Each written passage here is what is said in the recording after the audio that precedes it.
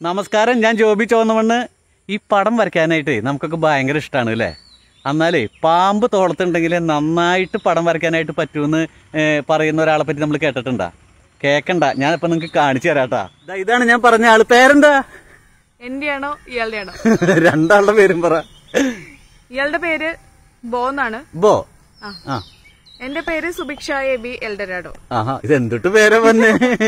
അതെ സുഭിക്ഷയുടെ വീട് എവിടെയാ ഞാൻ കോഴിക്കോടാണ്. കോഴിക്കോടാണ് അല്ലേ ഈ പാമ്പിന് ഇങ്ങനെ സാധാരണ പാമ്പിനെ കണ്ട നമ്മൾ ഓടണോടത്ത് പുല്ല് മുളക്കില്ല. ഇത് പേടിയില്ലേ? എന്തിനാ പേടിക്കണ്ടേ? ഇയാൾ ഒരു എക്സോട്ടിക് പെറ്റിന്റെ വകുപ്പിൽ വരുന്ന ആളാണ്. അപ്പൊ നമ്മൾ ഇതിനെ ഡൽഹിയിൽ നിന്ന് വാങ്ങിച്ചാണ്. ആ. ഇതിന് ലൈസൻസ് വേണോ? ആ ലൈസൻസ് വേണം.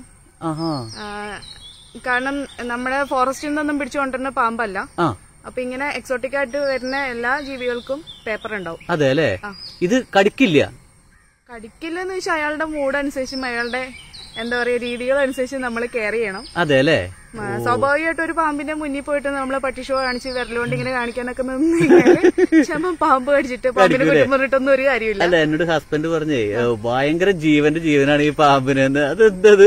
ഇയാളെ ശരിക്കും ഞങ്ങളൊരു ഷോർട്ട് ഫിലിമിന് വേണ്ടിയിട്ട് ആ, നമ്മുടെ സുഹൃത്ത് അതുൽ എന്ന് പറഞ്ഞിട്ട് സുഹൃത്തിന്റെ കെയർ ഓഫിൽ കൊണ്ടുവന്നാണ് അപ്പൊ ഷോർട്ട് ഫിലിം നമ്മൾ ചില സിറ്റുവേഷൻ കാരണം നീട്ടി വെച്ചു.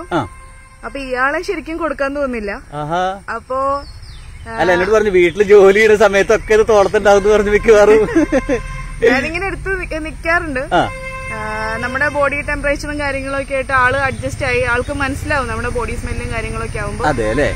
അപ്പൊ അതാ ഈ സുഭിഷ സുബിഷ വരച്ച ചിത്രങ്ങളാണ്. അതായത് ഇത് വുഡിൽ ചെയ്തതാണ് അല്ലെ? അതെ അതെ. അതായത് ഇത് കേരളത്തിൽ വേറെ ആരും ചെയ്തിട്ടില്ല.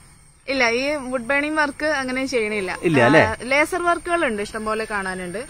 പക്ഷെ അത് ഹാൻഡ് ഹാൻഡ് വർക്കായിട്ട് ആരും ചെയ്യണില്ല ചെയ്തിട്ടില്ല അല്ലെ?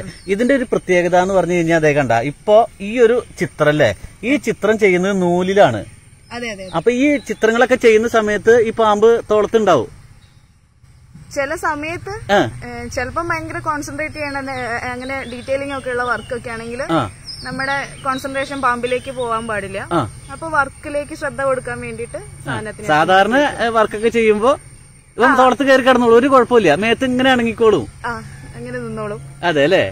ഇയാളുടെ ഭക്ഷണം എന്തൊക്കെ കൊടുക്കതിന് ഇതിന്? ഹാംസ്റ്റർ കൊടുക്കാറുണ്ട്. പിന്നെ ചെറിയ മൈസിന് കൊടുക്കാറുണ്ട്.